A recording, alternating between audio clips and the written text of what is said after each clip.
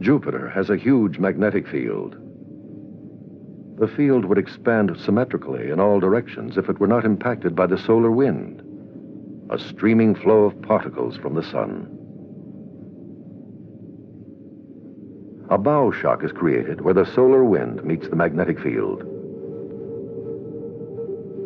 Behind the bow shock, the field is warped and turned inward upon itself by the pressure of the wind.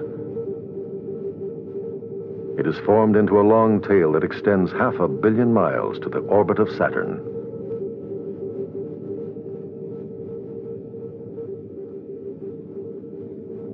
As Io moves in its orbit around Jupiter, it creates a unique relationship with the planet's magnetic field. In this polar view, Jupiter, spinning on its axis every ten and a half hours, drags its magnetic field and trapped radiation with it. But Io's orbit is slower, 43 hours.